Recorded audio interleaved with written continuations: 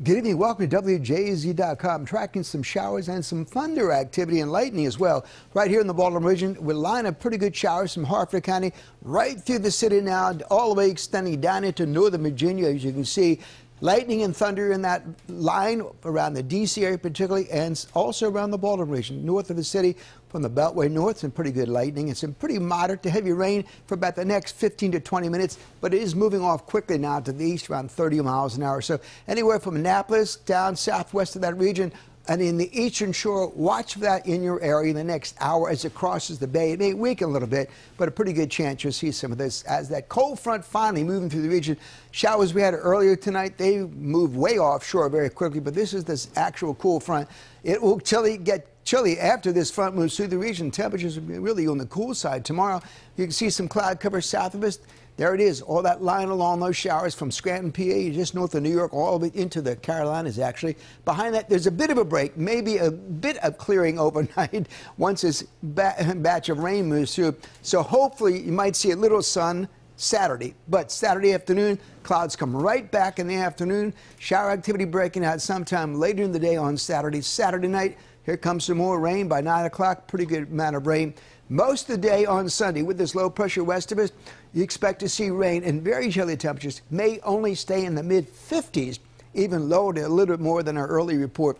This low is going to continue to drag chilly air in from the north with that high over Quebec. The winds right off the Atlantic Ocean, really chilly and damp. South of us, it'll be a lot warmer south of Richmond, down into the Carolinas. Temperatures there in the 70s, even some 80s perhaps. But we'll see the rain continue. Eventually, Sunday afternoon, this low will pass.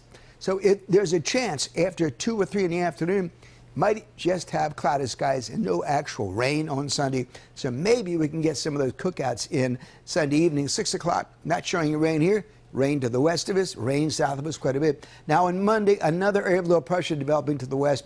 That means lingering clouds and yes, a little bit more rain. Also, very chilly temperatures here on Monday. You see that big spin? Just stuck in the atmosphere is this low pressure, and that means it's hard to get it kicked out. It means Monday night, even some more rain possible. Tuesday, probably a few lingering showers as well. Saturday night, shower, maybe a thunderstorm, mid 50s or so. Tomorrow, evening rain developing, mid 60 tomorrow. During the day, maybe a few breaks, perhaps some, some sunshine, north winds at 5 to 10. But look at this next seven days. 55 49 on Mother's Day. Really chilly day.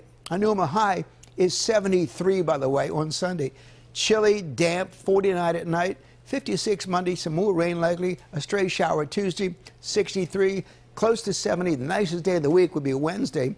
Showers around again by Thursday as another low pressure approaches from the west. Partly sunny. Finally, next Friday, things begin to dry out. Hopefully, if the Preakness will continue to have sunny and dry conditions. I'll check on that early next week for you. Have an updated forecast coming up late tonight.